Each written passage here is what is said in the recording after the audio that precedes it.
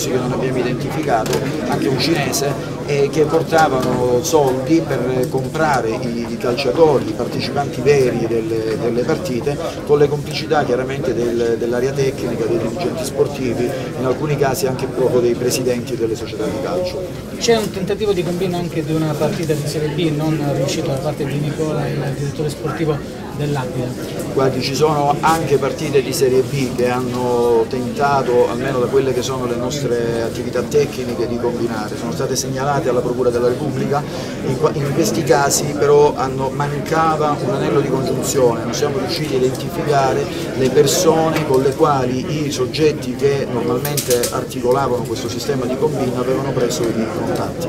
Senta, c'è un episodio che riguarda una partita in particolare che Cremonese Procate, il dottor Bombardino Barbiere ha parlato di Ulizio che il giocatore ma il padre che faceva parte della società si fa espellere e poi chiede al padre di intervenire per avere meno giornate di squalifica possibili e a questo punto c'è da chiedersi con chi è intervenuto e perché eh, chi ha dato una giornata di squalifica alla ragazza. Sì, sì, su questo abbiamo delle indagini e chiaramente è un fatto che si commenta da solo nelle intercettazioni, Ulizio Mauro per far perdere la sua squadra da un pugno in pieno volto ad un avversario si fa espellere volontariamente dal campo di calcio era diffidato e normalmente si attendeva una squalifica di almeno tre giornate. In quella circostanza chiama il padre, gli dice se poteva chiamare quel suo amico in Lega, il padre dice sì vabbè lo disturbo solo per questa volta, poi in effetti il figlio prende una sola giornata e manda un messaggio al padre nel quale gli dice papà sei il numero uno.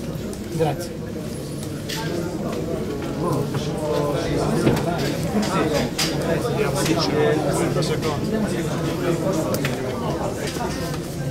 Coinvolta, è in primo piano rispetto a queste indagini. Sì, diciamo che le nostre attenzioni investigative non erano rivolte alla dirigenza del Brindisi, ma erano rivolte alla società, prevalentemente al direttore sportivo del, del Neapolis Calcio è stato lui ad avere una serie di contatti con il direttore sportivo del Brindisi e, e di poi anche con la, con la, presidenza, quindi la dirigenza del Brindisi, al fine di fargli vincere alcune partite di questo campionato di, di calcio.